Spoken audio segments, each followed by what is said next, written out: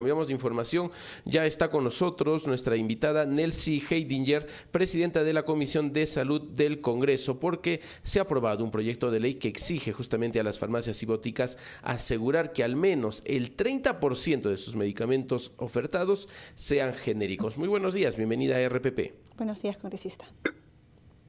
Muy buenos días, muchísimas gracias. Así es, sí, ya se ha aprobado la ley.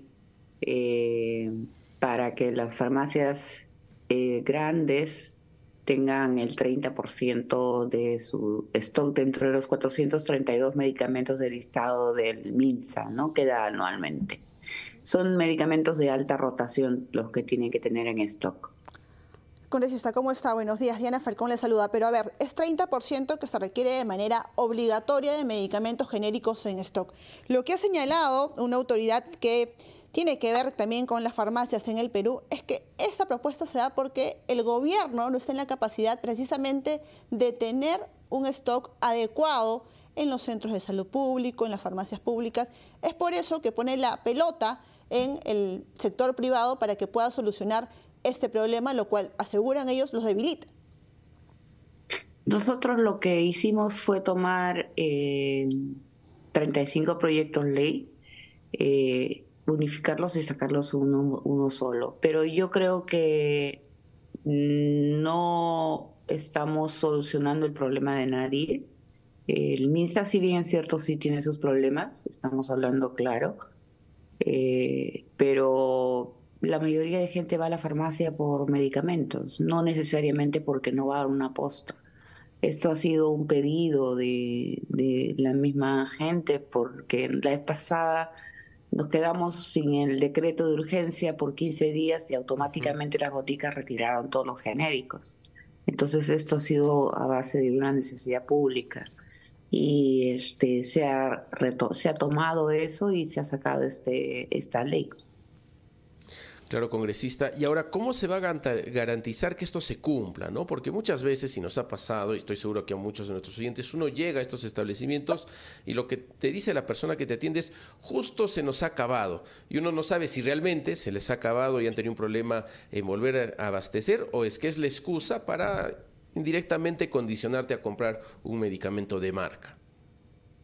Lo que se recomienda es colocarlo en el libro de las reclamaciones colocar, pedir el libro de reclamaciones, entonces cuando el MINSA pasa a ser su, el ente rector que pasa a hacer su el chequeo, revisa el libro de reclamaciones y ahí ese... ese procedimiento puede demorar meses, incluso la sanción, ¿no? Lo que se requiere, lo que requiere un paciente cuando está enfermo es que primero un especialista le dé un diagnóstico y cuando va a una farmacia encuentre un medicamento a un costo apropiado.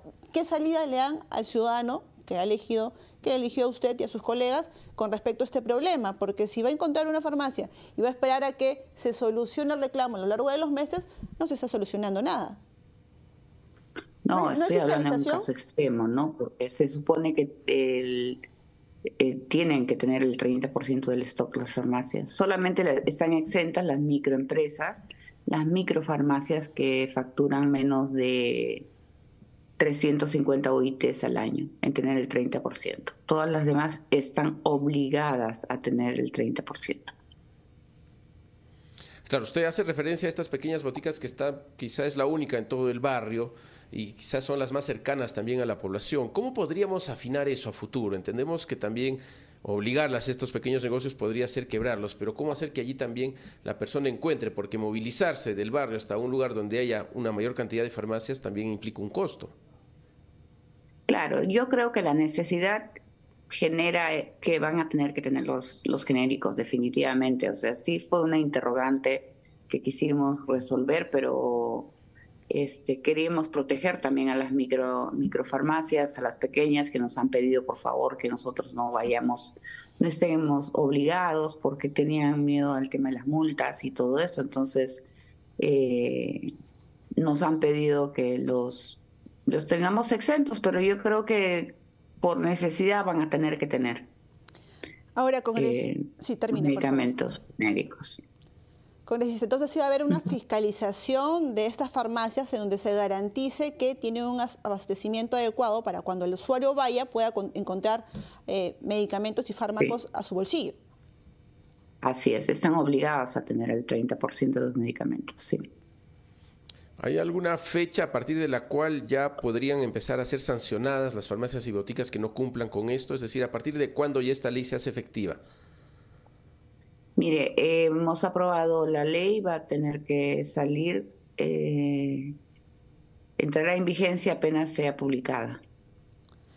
Congresista, y entiendo que esta norma se ha dado, bueno, ya se venía preparando a lo largo de los meses, pero en los últimos días hay una cifra que seguramente va a generar que se lleven ajustes, no solamente desde el Congreso, sino también desde el gobierno central. Hay más pobres en el Perú.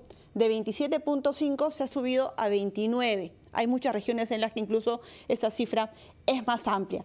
¿Cómo van a ser estos peruanos y peruanas en situación de pobreza que probablemente no tengan incluso para los medicamentos genéricos cuando acudan a una farmacia.